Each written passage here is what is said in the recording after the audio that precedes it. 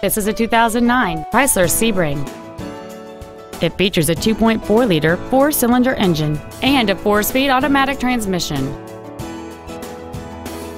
Its top features include dual power seats, cruise control, full power accessories, a six-speaker audio system, a multi-link rear suspension, a four-wheel independent suspension, a passenger side vanity mirror, a low tire pressure indicator, a keyless entry system, and this vehicle has fewer than 15,000 miles on the odometer. With an EPA estimated rating of 29 miles per gallon on the highway, this vehicle helps leave money in your pocket where you want it. Stop by today and test drive this vehicle for yourself.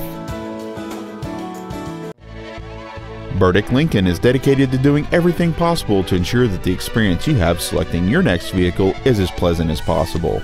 We are located at 5885 East Circle Drive in Cicero.